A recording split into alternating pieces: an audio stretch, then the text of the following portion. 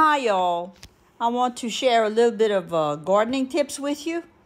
My mother had a green thumb. Anything she planted just grew beautifully. I'm not quite that gifted, but I do love to garden, and as you know, I love to can. Um, made out of tin. I bought this from Eddie LeBlanc. So in this container, I have uh, tomatoes, and I have the fencing to tie it on. Every day I water this. But inside the container, you can also plant other things. These are carrots.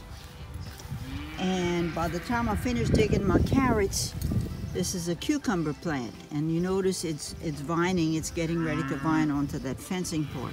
This here is an example of, see my pansies? I had it full of pansies. But before the pansies died down or before I pulled them out, I have three big tomato plants in here. In this garden, I have my pansies. As you can see, they're still blooming.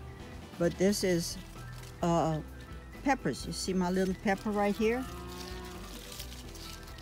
So I have two pepper plants inside of my container plant. And this plant next to the pansies is cucumbers.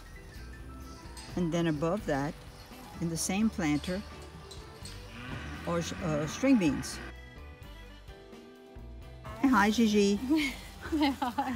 You finding any beans? I am. Uh-huh. Do you eat string beans? I don't, but I like picking them and I like pickling them. Yes. I like growing them. I, I put on Facebook that we were uh, picking string, bean, string beans, and I had three responses that people wanted them to put in their martinis. Yes, actually uh, Bloody Marys. A Bloody Mary, sorry, not martinis.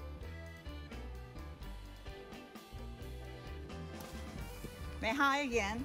This is okra, and what I'm going to do here is, uh, it's too close together. You see how it, there's too many, too many seeds in one spot. So I'm going to scoop up the okra, and I'm going to transplant it. So I'll put one here, I'll put one here, put another one in here. Gardening, one of the secrets is that you have to water.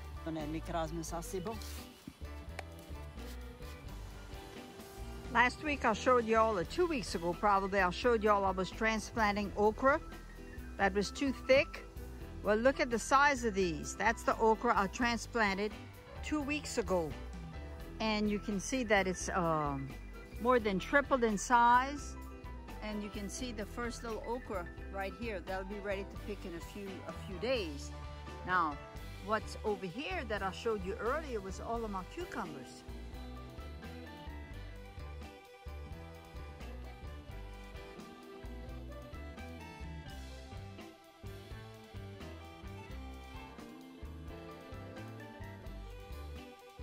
Okay, I'm going to show you what, how I'm planting. These are eggplants. Okay, so out of this, in this container, I made another row.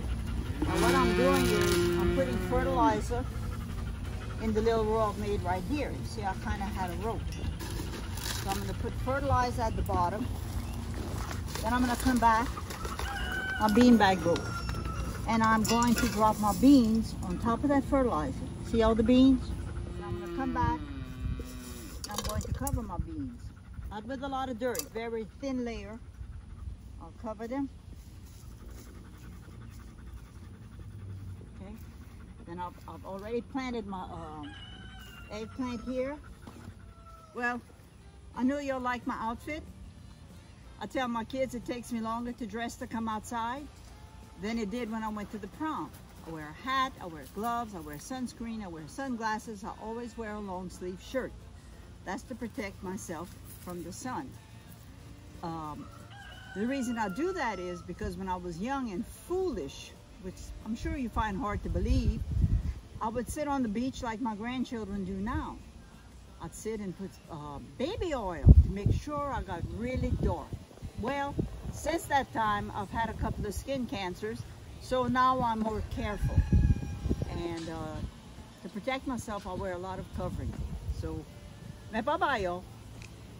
Hi, Pete. Hi, Gran.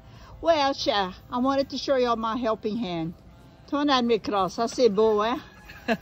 we call him Perfect Peter. He just filmed me doing the uh, the uh, the beans, so I'm gonna have to let him go finish working. He's very inexpensive. He works for me for free. All I have to do is feed him. Oh yeah. And bye bye, Pete. Bye y'all.